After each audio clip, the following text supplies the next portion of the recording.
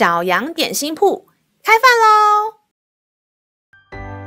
欢迎收听小羊点心铺，我是勇敢三明治。今天是星期三，欢迎你跟我一起来享用这段关于勇敢的经文。今天的经文是在箴言一章三十三节：唯有听从我的，必安然居住，得享安静，不怕灾祸。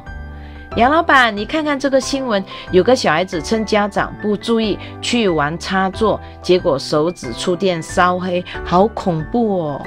哦，勇敢三明治，我记得以前你觉得碰插座、玩电线是很勇敢的事，爸爸妈妈常提醒你不能玩，对吧？是啦是啦，不过他们不只是讲这个，很多事都会一直提醒，好烦呢！我最不喜欢碎碎念了，哈哈。我懂，杨老板小时候也不喜欢，不过渐渐长大了后才了解爸爸妈妈的心，他们其实很爱我们，为了保护我们才给予教导或提醒。但可以不要一字念吗？勇敢三明治，请问他们现在还有提醒你不能玩插座吗？嗯，好像没有了。为什么呢？是因为你长大啦。清楚明白玩插座的后果，也不会去碰和尝试，所以爸爸妈妈能放心，也不再提醒了。因此，如果你希望他们少说些，对你更放心，就把上帝智慧的话记在心里，听从上帝的带领，他必帮助你成为一个上帝喜悦且孝顺父母的孩子哦。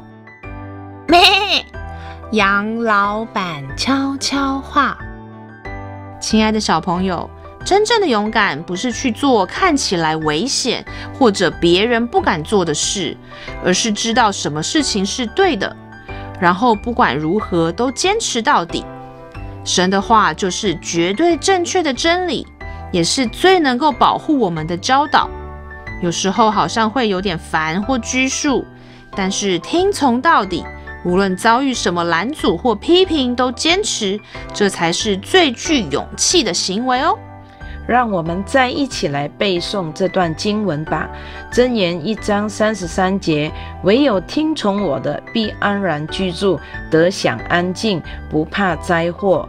箴言一章三十三节：唯有听从我的，必安然居住，得享安静，不怕灾祸。你都记住了吗？让我们一起来用这段经文祷告。